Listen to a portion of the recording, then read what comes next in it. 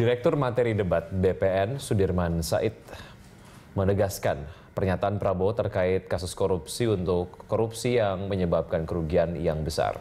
Namun pihaknya akan tetap memprioritaskan penindakan atas kasus korupsi dengan dampak kerugian negara.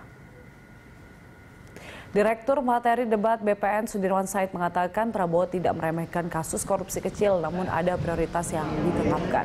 Menurut Sudirman, Prabowo lebih mengecam keras orang-orang yang sudah memiliki gaji besar dengan fasilitas nyaman namun masih melakukan korupsi dibandingkan dengan orang-orang yang melakukan korupsi lantaran memang dalam kondisi membutuhkan.